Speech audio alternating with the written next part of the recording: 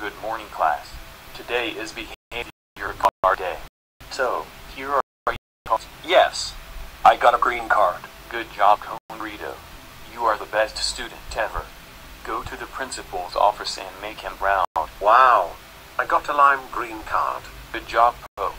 Go to the principal's office. Wow, I got a light green card. Good job, Moses. Go to the principal's office. Cool. I got a yellow card. Good job, Ginger. Go to the principal's office. I got a white card. Okay, Hazel. Go to the principal's office. Oh no. We got the bright yellow cards. I'm sorry, little fairies. You are not the trouble. Just a little talk after school and no detention. Please go to the principal's office. Hey, what is this? A yellow orange card. That's right, Ramesses, too. You have detention for one hour.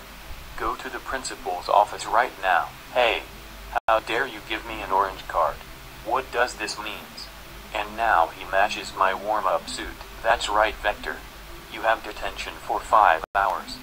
Go to the principal's office right now. Oh no. I got a safety orange card.